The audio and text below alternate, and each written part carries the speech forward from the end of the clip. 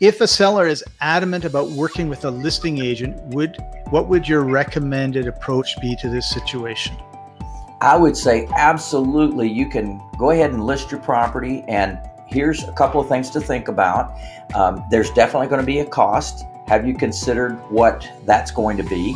And have you considered how long your property is going to be on the market? So, you really do have two options. You can work with a traditional real estate agent, which typically they want you to sign a six month um, option to sell, which is also known as a listing agreement.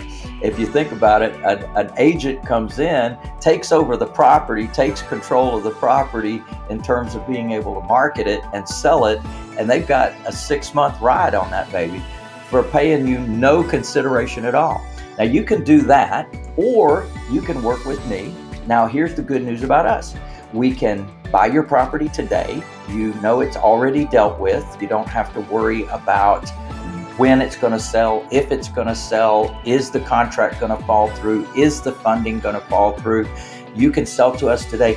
And here's the other thing we can work with the timing of your move. So maybe you need 60 days before your other house is ready. That's fine. We can work with you on that.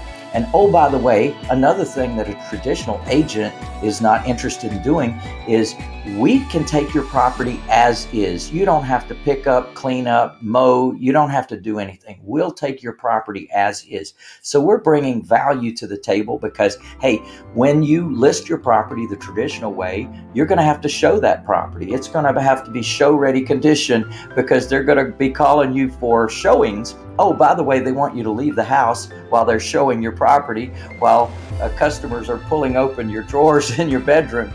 And, you know, just kind of paint some visuals for people of what it's going to be like. And the, the kids with the jam on their fingers on the doorknobs and things like that are going to be going through the house. And, and you know, you kind of look at what it's like to, to list and sell a house the traditional way. Here we come along, and you don't have to have all that pain, suffering, and of course, if somebody's going to buy your house the traditional way, they're going to want to move in because their other house is selling or because their stuff is on the U-Haul truck and they want to move in on a certain day. That's not us. We don't have to push you out the door because we have another, um, uh, we've got another sale coming down the pike. You don't have to worry about that with us.